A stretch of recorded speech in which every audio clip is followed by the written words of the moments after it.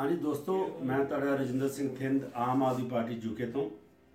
ਅੱਜ ਮੈਂ ਡਾਕਟਰ ਬਲਬੀਰ ਸਿੰਘ ਜੀ ਹਲਕਾ ਸ਼ਹਿਰੀ ਦੇ ਨਾਲ ਅੱਜ ਮੀਟਿੰਗ ਕਰਨਾ ਜੀ ਕਰਨਾ ਇਹਨਾਂ ਦੀ ਟੱਕਰ ਹੈਗੀ ਜੀ ਸੁੱਧੀ ਰਾਜੇ ਨਾਲ।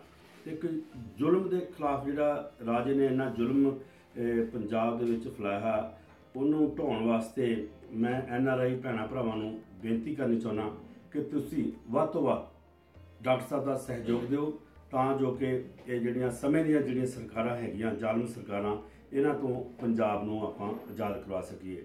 ਦੂਜੀ ਗੱਲ ਜਿਹੜਾ ਆਪਾਂ ਐਨ ਆਰ ਆਈ ਸਾਡੀ ਜਿਹੜੀ ਯੂਕੇ ਦੀ ਟੀਮ ਨੇ ਫਲੇਮ ਆਫ ਹੋਪ ਦੀ ਆਪਾਂ ਜਿਹੜੀ ਪਲਾਨਿੰਗ ਕੀਤੀ ਆਪਾਂ ਇੰਡੀਆ ਆਉਣਾ। ਤੇ ਡਾਕਟਰ ਸਾਹਿਬ, ਤੁਸੀਂ ਐਨ ਆਰ ਆਈ ਸਾਡੇ ਉੱਥੇ ਟੀਮ ਨੂੰ, ਸਾਡੇ ਭੈਣਾਂ ਭਰਾਵਾਂ ਨੂੰ ਕੁਝ ਮੈਸੇਜ ਦੇਣਾ ਚਾਹੁੰਦੇ ਹੋ ਫਲੇਮ ਆਫ ਹੋਪ ਦੇ ਬਾਰੇ? ਜੀ ਆਰ ਆਈ ਭਰਾਵਾਂ ਨੂੰ ਬਹੁਤ ਹੀ ਪਿਆਰ ਭਰੀ ਸਤਿ ਸ੍ਰੀ ਅਕਾਲ, ਨਮਸਕਾਰ। ਜਿਸ ਤਰ੍ਹਾਂ ਥਿੰਡ ਸਾਹਿਬ ਨੇ ਦੱਸਿਆ ਕਿ ਮੈਂ ਪਟਿਆਲਾ ਸ਼ਹਿਰੀ ਤੋਂ ਕੈਪਟਨ ਅਮਰਿੰਦਰ ਸਿੰਘ ਦੇ ਖਿਲਾਫ ਆਮ ਆਦਮੀ ਪਾਰਟੀ ਦਾ ਉਮੀਦਵਾਰ ਹਾਂ।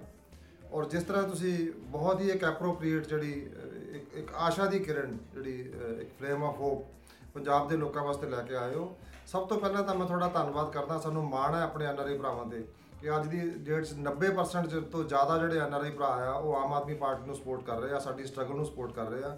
ਅਲੱਗ-ਅਲੱਗ ਤਰੀਕਿਆਂ ਨਾਲ ਉੱਥੋਂ ਬੈਠ ਕੇ ਆਪਣੇ ਰਿਸ਼ਤੇਦਾਰਾਂ ਦੇ ਨਾਲ ਫੰਡਿੰਗ ਦੇ ਨਾਲ ਔਰ ਕਾਲਿੰਗ ਕੈਂਪੇਨ ਦੇ ਨਾਲ। ਮਤਲਬ ਮੈਂ ਕਾਲਿੰਗ ਕੈਂਪੇਨ ਦਾ ਵੀ ਪਾਰਟ ਕਈ ਵਾਰੀ ਮੈਨੂੰ ਉਹਦੇ ਵਿੱਚ ਮੌਕਾ ਮਿਲਦਾ ਪਾਰਟਿਸਿਪੇਟ ਕਰਨ ਦਾ। ਮਤਲਬ ਇੱਕ ਇੱਕ ਮੈਂਬਰ ਹਜ਼ਾਰਾਂ ਲੋਕਾਂ ਨੂੰ ਬੈਠ ਕੇ ਕਾਲ ਕਰ ਰਿਹਾ ਔਰ ਉਹ ਸਾਡੇ ਨਾਲੋਂ ਵੱਧ ਚਿੰਤਤ ਹੈ। ਪੰਜਾਬ ਬਾਰੇ, ਪੰਜਾਬ ਦੇ ਸੱਭਿਆਚਾਰ ਬਾਰੇ, ਇੱਥੇ ਦੇ ਲੋਕਾਂ ਬਾਰੇ, ਇੱਥੇ ਦੇ ਆਬੋ ਹਵਾ ਬਾਰੇ ਉਹ ਲਗਾਤਾਰ ਚਿੰਤਤ ਹੈ ਔਰ ਭਰਪੂਰ ਕੋਸ਼ਿਸ਼ਾਂ ਕਰ ਰਿਹਾ। ਮੈਂ ਉਹਨਾਂ ਦਾ ਬਹੁਤ ਧੰਨਵਾਦ ਕਰਦਾ ਔਰ ਮੈਨੂੰ ਉਮੀਦ ਹੈ ਔਰ ਜਿਵੇਂ ਇਸ ਤਰ੍ਹਾਂ ਮੈਨੂੰ ਥਿੰਡ ਸਾਹਿਬ ਆਏ ਆ, ਪਹਿਲਾਂ ਪੰਨੂ ਜੀ ਯੂ ਐਸ ਏ ਤੋਂ ਆਏ ਆਪਣੇ ਉੱਥੇ ਜੱਜ ਆ ਗਿਆ, ਧਾਲੀਵਾਲ ਸਾਹਿਬ ਹੈਰੀ ਧਾਲੀਵਾਲ, ਉਹ ਕੈਨੇਡਾ ਤੋਂ ਆਏ, ਉਹ ਮੈਨੂੰ ਮਿਲ ਕੇ ਗਏ।